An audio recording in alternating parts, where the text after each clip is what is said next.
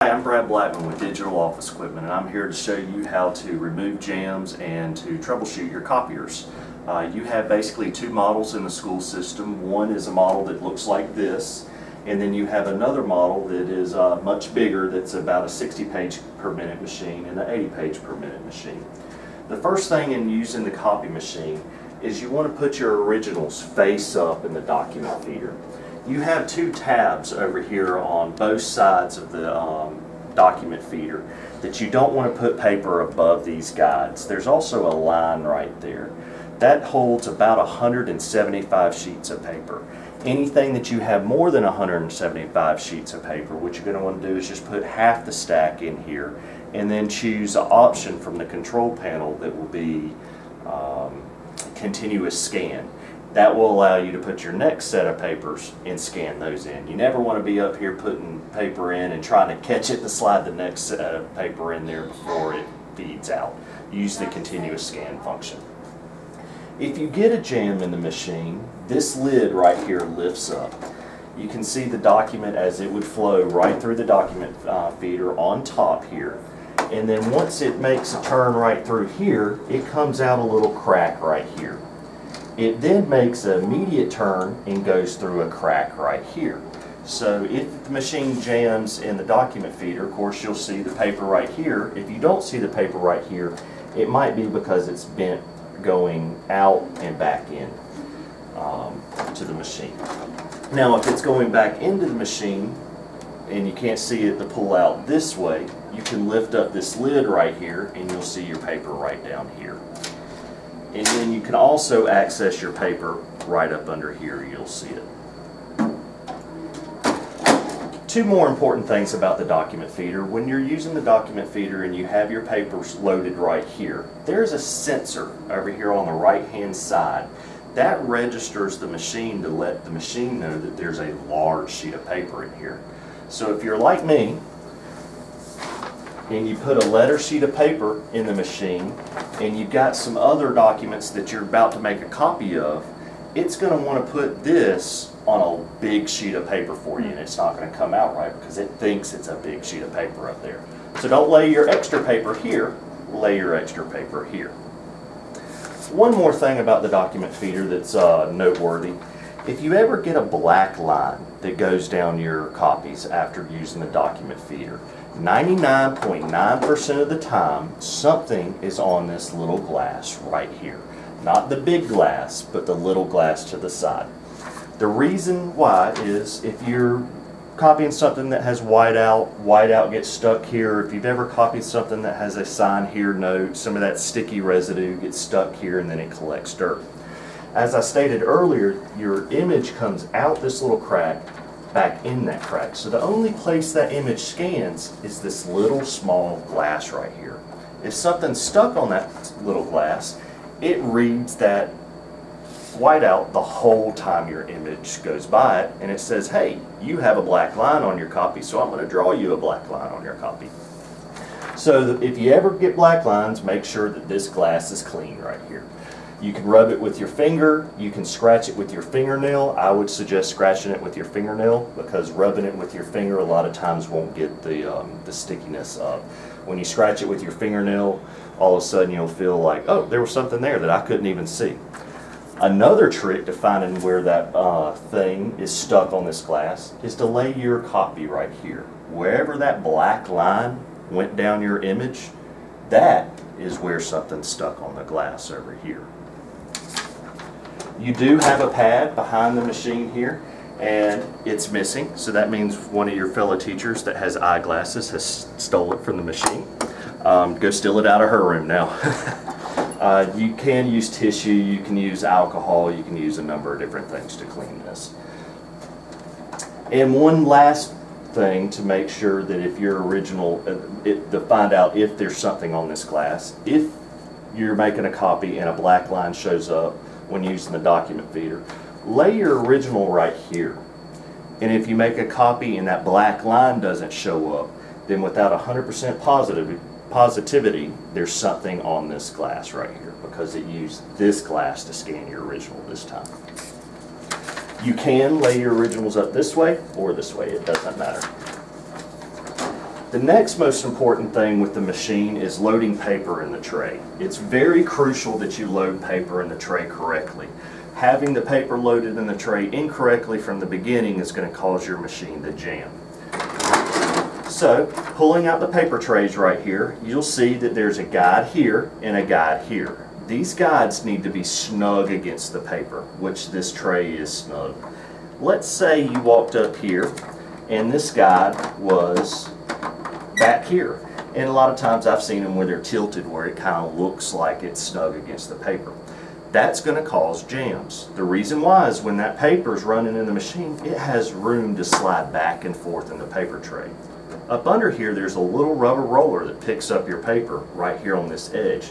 If that paper slides back far enough this way, and that rubber roller has no area to grab that paper, you're going to get a jam. So make sure that that paper is snug against this uh, back guide.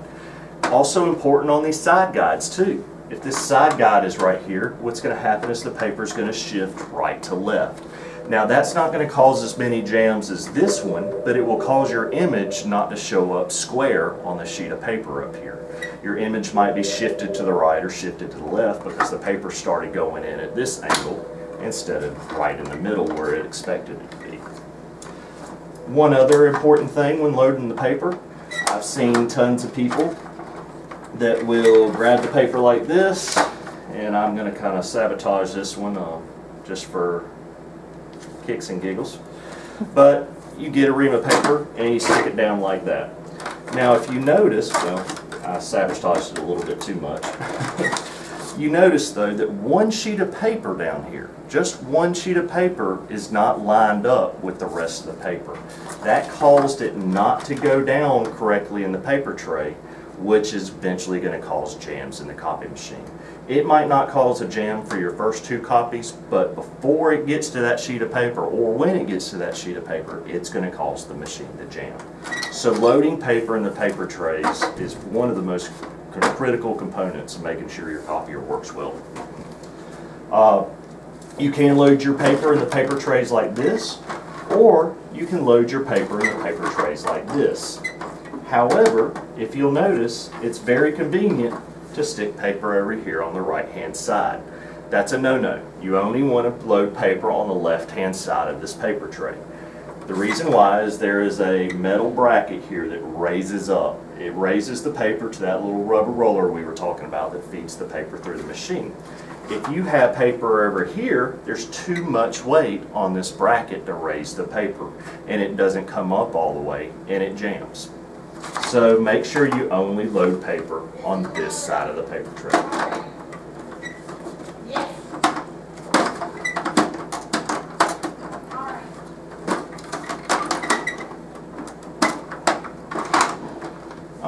And it will lock into place when you get to standard size sheets of paper, so you can't have it out here in an intermediate size. It will lock in when it finds that letter size paper. So you have a paper tray here. You have a paper tray here. Same rules apply to the second paper tray as the first paper tray. And then you have a third paper tray here. This is your large capacity paper tray. In this paper tray, it is okay to have paper on both sides. You can load three reams of paper over here and three reams of paper on this side. It'll load up no higher than this line right here.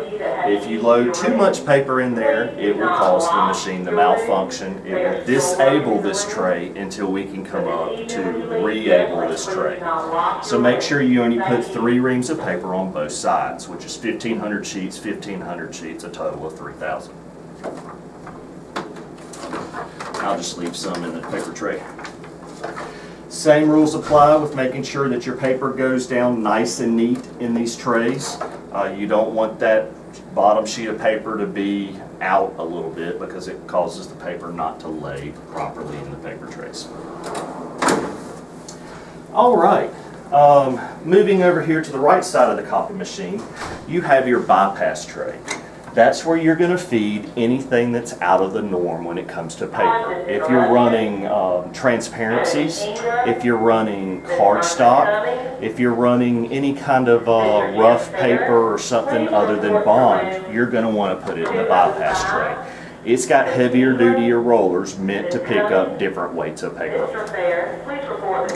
Now, out of the paper tray, you can run a 67 pound cardstock out of it. So it can handle heavier paper than bonds. So if you've just gone up a step or two, it's fine to throw in the regular tray. It's when you jump up to the thick papers you want to put in the bypass tray.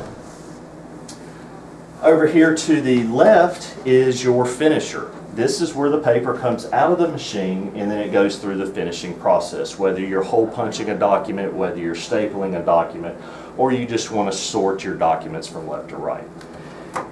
In here you will see that um, it's nice and compact in here but you have a D5 lever. That there's a little handle back here that you push and it just slides out. This brings any jam that was in the machine out to you this D6 lever will open up allowing you access to your paper your paper would be right here if the machine jammed in the finisher loading staples in this machine. Um, forgive me for one second because they change them on every machine. This one is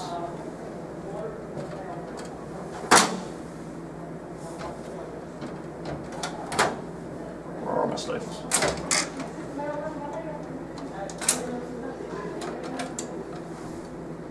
We'll get to staples in a second. I'll find them. Um, if your machine shows that your hole punch unit is full, this is the container for your hole punches. This just slides out, you can dump it in the trash, and then it slides back in, just like this. If you really want to make somebody mad, stick it above their door so when they open it up, it just falls on top of them. These other levers in here, your E2 your D2, and your E1. Your two E's you're not going to want to mess with unless it's your paper is rolling when it comes out. I don't know if y'all have ever seen it happen, but depending on if there's how much moisture's in the paper, instead of the paper coming out flat, it could come out in a nice little roll. These are de-rolling rollers. Basically, it forces the paper to bend back the other way so it'll come out flat. We typically mess with these to help you out. This D2 will advance the paper for you. If it were stuck before it got into this unit or if it was stuck up here and you can't quite get it to it, just roll D2 in a um, counterclockwise position to roll your paper out. The, uh, I remember where the staples are now. uh, to get to the finisher, this button pushes in and it rolls away from the machine. This gives you access a little bit more to the finisher where you have a door here and you have a door here. Both of these are jam access doors if your paper's coming in the top tray B. You also have a little guide in here that you can pull up, D1, that helps you get access to paper here. This, if your paper's jammed in here, this is where you're going to want to use the roller to help you access that paper and get it out of there. The staples on this one are behind this door right here, D8. You open this up and here is your staple cartridge. It just slides straight down and then you will see your cartridges. You, the new one you'll get, you never want to throw away this blue piece and this um, clear piece, not clear piece, but a um, white piece right here. You never want to throw that away. When you're getting new staples, the only thing you get is this clear box on top. So when your staples are empty, and you can see that there's staples in there, you can squeeze this and it pops straight up. Your new staple cartridge will look just like this, and you just push it straight down and then you've loaded your staples into the machine. If you ever get jams while stapling, where you're wanting to staple a document and it's not stapling, this is where you come to see if a staple's jammed in the unit. right behind this uh, metal guide right here, this green tab, you can pick up. And if there's a staple jammed, it will look like that. You'll see it where it was bent up right here, these last two. Just pull those last two that were bent up that didn't go in paper off and then push this guide back down. Now you're ready to staple documents again. It slides right back up in A, um, your A slot and you're ready to go. There is a D7 right here, but it doesn't allow you much access to paper, but that is an additional place that you can look. That's it as far as the finisher. Now on the copy machine, you have a, you've got three access doors over here. This bottom access door is only if it jams out of your large capacity paper deck right here. This access door is whether it jams out of your paper tray 1 or paper tray 2. And you'll see the paper, it'll be right here. One of the key things to removing paper out of the machine is if the paper's jammed here and you're standing in front of the machine, you don't want to grab the paper and pull to you. When you grab that paper and pull to you, it's leaving a corner in the machine that's odds are going to rip off.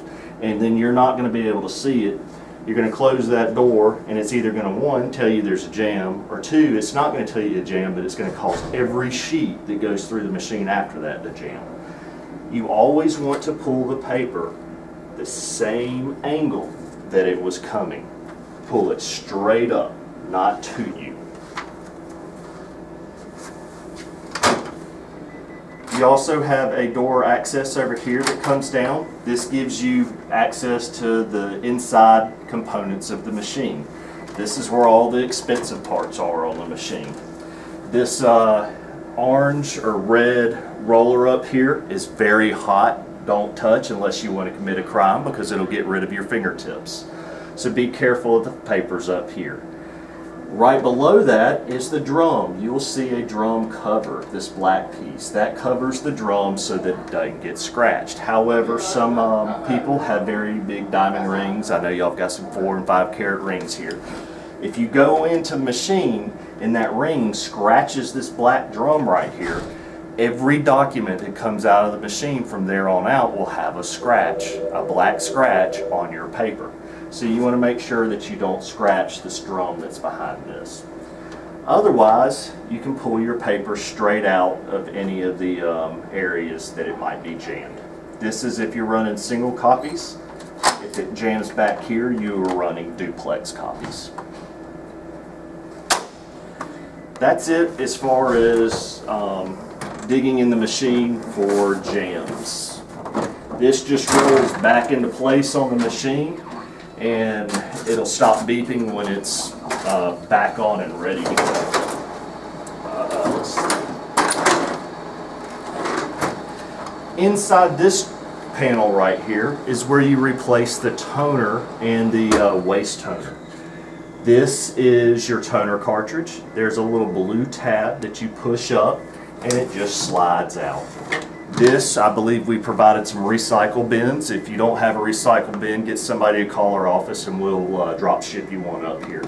Goes in a recycle bin. You contact uh, somebody in the front office. You should always have spares on hand.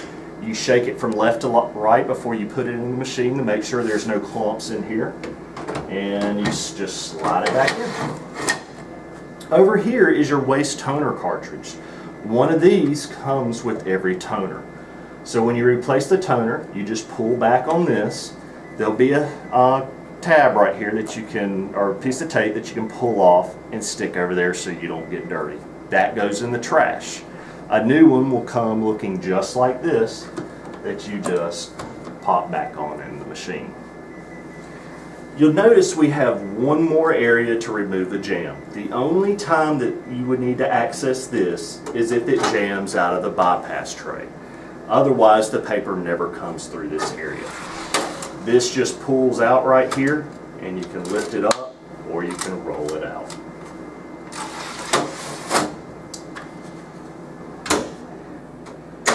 As far as um, the machine and anything else that you might run into, encounter a problem with, this power button, if you come up and you think the machine's off and you can't use it, look for the green light in the top right corner. That means the machine is powered on and it is ready to go. You just need to bring it out of a sleep mode by hitting this power button.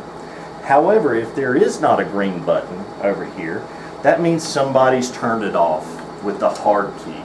The hard key is located right here on the right hand side behind this little panel. And you just switch it off and then goes off. And it comes back on.